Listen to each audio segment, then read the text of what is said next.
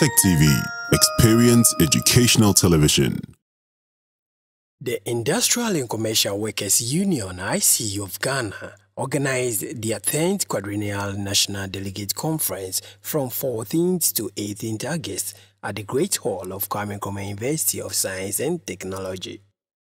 Speaking at the conference was the Deputy Minister of Ashanti Region, Honorable Elizabeth Agyeman, and she said, Any policy option will depend on the active participation of the citizenry.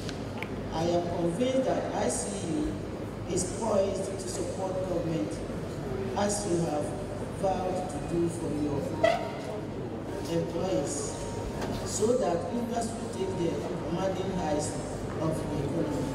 On this note, I thank you once again for your invitation and I welcome the Global Union Federation members who are present and all delegates present.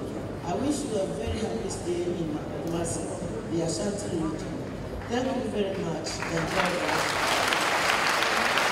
The General Secretary of ICU, Brother Solomon Kotei, also addressed the delegates at the conference. Within the normal working hours, knowing that you have been drawn to do extra hours. By that, you are denied of your family comfort, time with your children, and everything. And then such monies, if government find the largesse in it in taxing it, we think it is not helping the cause for which you have done the overtime. It has become so disincentive because in some organizations they add the overtime tax to your um, uh, taxable income, and that takes you to a higher bracket, and the tax rather becomes a disincentive for you to do the overtime. We believe the response from the uh, Minister of Employment, and ICU is going to pursue it, and we are going to get a result.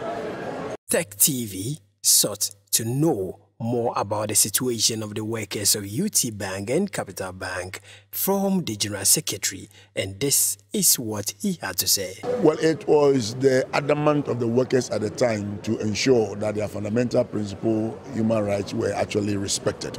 Some started to get themselves regularized into the union and they were dismissed, okay? But they didn't want to pursue the matter. So they live in there without collective bargaining certificate. So in the circumstance, what sort of employment contract have you signed? That is what to be applicable to you. But if they had a union, the collective agreement of the union was what to come to the fore now. But now here you are, helpless without a collective agreement. That is why ICU keeps saying that the most secure place to work is where you have a union, where you have a collective bargaining agreement, because your labor cannot be taken for granted, your contribution cannot be taken for granted. You need a union that can actually negotiate for what you're worth and what you deserve. This is what has befallen them today.